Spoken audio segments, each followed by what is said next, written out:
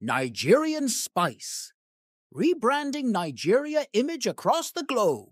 Hi, viewers out there. It's going to be a great evening. Nigerian Spice is into it again, and it's going to be a great evening as we are going to be celebrating the outgoing Consular General of Nigeria to South Africa right here today. So I'm inviting every one of you to be part of this. If you are viewing it online, please share it. And at the same time, if you are here in the venue, please kindly let's celebrate this hour together.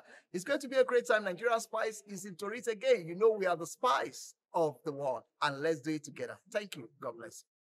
All right, everyone. Uh, it's a great evening here in Johannesburg, and I really appreciate those of you connecting with us online. And those of you here, I celebrate every one of you. It's going to be a great evening tonight. Sir, I'm so excited about this, and I'm happy to have this conversation with you. I just want you to first introduce yourself to the listeners at home. Yeah, my name is Ambassador Emmanuel Oguntoye, the consul in charge of uh, uh, community relations at the Consul General of Nigeria. So, tonight is about the outgoing Consular General, that is Mr. Andrew Idi, His Excellency. So, let's talk about him. Let's talk about his personality. What can you tell us about him? Yeah, um, His Excellency Mr. Andrew is uh, my boss, and uh, I know him as a very humble person, very passionate about Nigeria issues, and uh, you know, he's very straightforward and doesn't have anything to hide in terms of relating with people.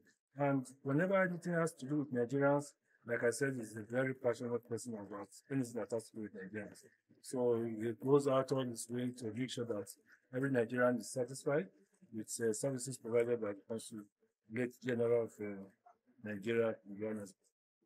All right, so let's talk about the progress within the time that is in the office. If you want to measure it or you want to tell people, say about that? Well, uh, I wouldn't want to blow our, our, you know, the sun too much, but I know that from, you know, perspectives of Nigerians, from, you know, discussions I had with Nigerians, they are very satisfied with his uh, administration uh, in terms of improvements in consular uh, service delivery. Um, you will recall that in the past, from what I learned, I understand that it takes months before one can get passport. But within the short it was, uh, I mean, it's been the uh, CG, that service has improved significantly.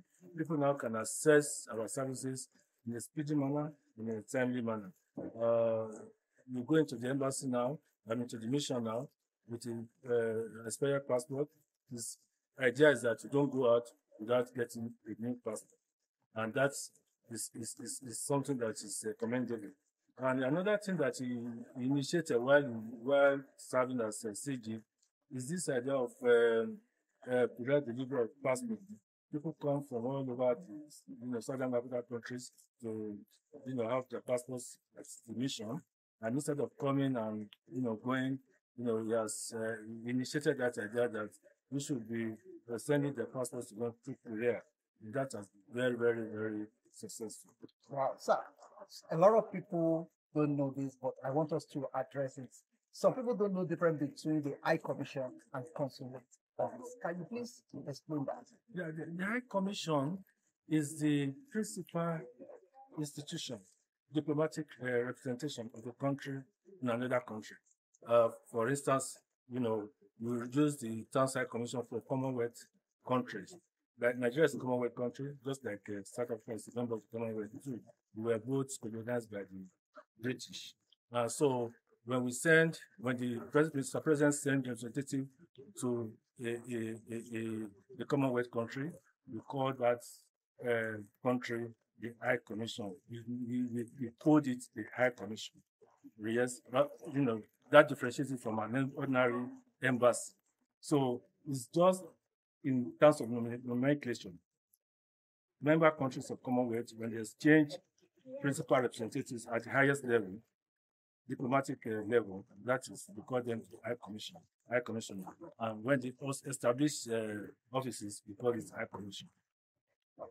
And in terms of consulate, consulates are just um, situated or located in major countries, I mean major cities of the country, apart from the uh, the capital. of that country. For instance, we have the consulate in Johannesburg, where we have the High Commission in Pretoria, because Pretoria happens to be the, the capital. Then Johannesburg is a major city in South Africa to cater for uh, Nigeria's uh, consular services in South Africa. Thank you very much sir, for this clarity. I really appreciate it. Please, your name again, sir. My name is Samuel Emmanuel Thank you so much.